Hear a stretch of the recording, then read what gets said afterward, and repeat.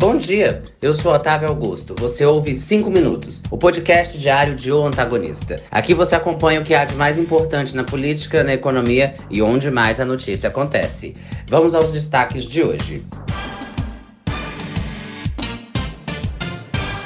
Governo estuda refis para dívidas previdenciárias dos municípios. Moraes e Nunes Marques divergem no primeiro julgamento dos atos golpistas.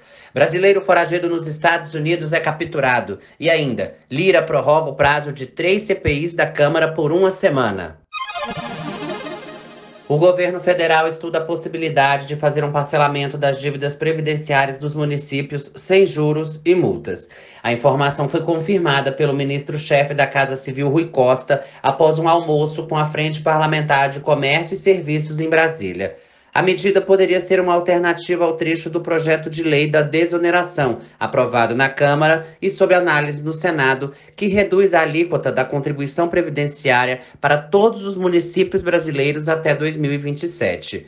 De acordo com a Confederação Nacional dos Municípios, essa dívida chega a 200 bilhões. Começou com divergência o julgamento dos primeiros réus envolvidos nos ataques de 8 de janeiro no Supremo Tribunal Federal.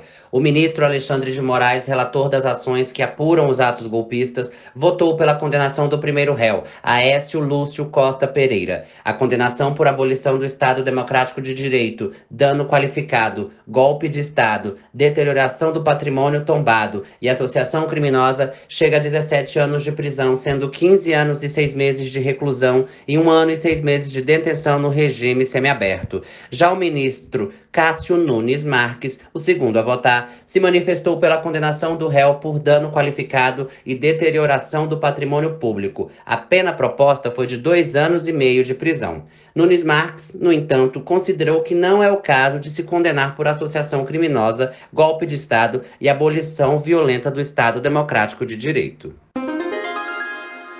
E olha, a prisão do brasileiro que fugiu de um presídio nos Estados Unidos parece cena de filme de Hollywood e ganhou as manchetes no mundo todo. Danilo Cavalcante, o brasileiro condenado à prisão perpétua que fugiu da cadeia nos Estados Unidos, foi capturado na Pensilvânia. Ele foi encontrado no 14º dia das buscas, que envolveram uma mega operação com 500 policiais, participação do FBI e fechamento de escolas e parques. Mesmo assim, Cavalcante, que matou a facadas uma ex-namorada e escalou as paredes da prisão para fugir, conseguiu caminhar por 38 quilômetros, roubar uma van e um rifle e trocar tiros com o morador.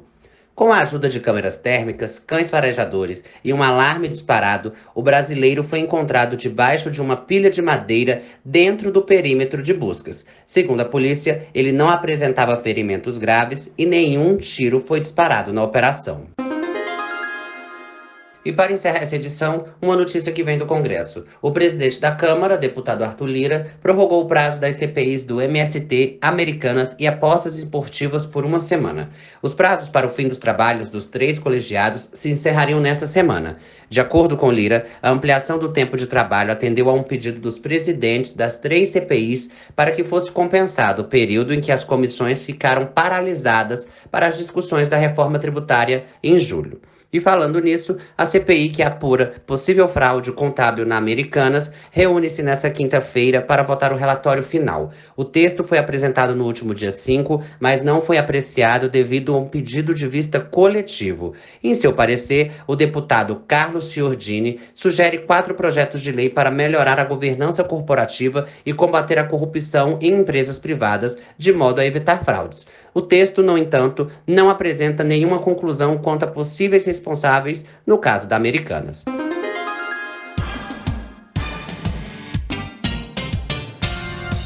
Você ouviu 5 Minutos, o podcast diário de O Antagonista. Não esqueça de curtir e compartilhar o nosso conteúdo. Produção de Otávio Augusto e sonoplastia de Robson Negrini. Tenham todos um ótimo dia e até amanhã. Você sabia que o antagonista está concorrendo ao prêmio Best? Ainda estamos na competição. Se você se importa com jornalismo independente, vota, que é rapidinho, é só pegar o link, não demora 10 segundos e já, ó, espalha nos grupos, passa para os seus amigos.